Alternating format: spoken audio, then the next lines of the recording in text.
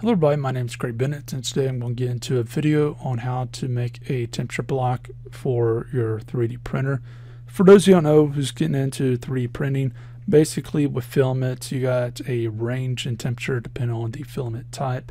And the fact the matter is, is depending on the manufacturing or even the quality at that time of the filament, you may find that printing at one particular temperature might perform better than the other temperatures will give you a better look and also it will keep you from having failed prints, at least from that standpoint. Now, as far as the following model that you're seeing, I uh, will leave a link down below. I didn't make this, but the reason why I like this one is it tests bridging, it tests stringing, and all the other stuff on top of it. So you get a multitude of tests in one whack. So what I will advise you to do at this point is first off, know what type of filament you want to test for, but go, if you're on Windows 10, you will automatically have 3D Builder. It's a software that's on Windows 10. Just open that up, go into Start and search for 3D Builder and open that up. And what you want to do is go and throw in the file, go into Edit, go into the uh, click click on the model, and go into Emboss and then emboss the temperatures that you'll be testing for at the given. And what that will do is that'll let you see at a later time if you need to fix something or whatever it may be. So with that one in mind, and, and once you save that as a STL file, you can go into Cura. It's another free program. And what you can do is just push it in there, have it prep the uh, file, go into the uh, extensions, post-processing, modify G-code. And from here, what you want to do is change at Z, then go to layer number and find what layer number is from here.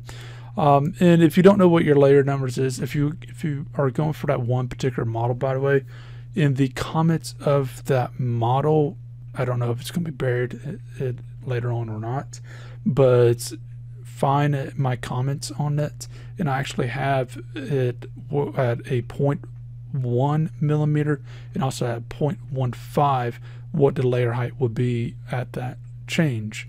So once you do that, you, I'm just going to just put in some random layer.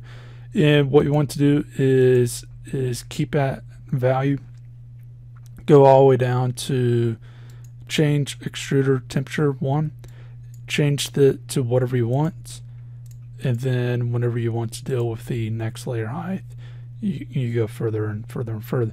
Basically, what happens here is the um, this changes the temperature per the layer height. That's what the script is for. Keep that value. Basically says uh, don't don't revert it back after a point. Just keep it at, at whatever. And that way you don't have to worry about it doing some weird stuff. So that way I can have it test for what's it like at 260 versus 230 without having too much of a problem in between. So as far as that goes, if you got any questions, anything else, feel free to leave that down below. But uh, with that one in mind, I, you know, save that, throw it onto your printer, and you should be good to go. If you want to modify something, you get you can click right there or go back up there and modify right there, move things around, do whatever you need to do. But for the most part, that's pretty much it. Now, um, as far as that goes, hope you have a great day, and um, and hopefully this helps you out.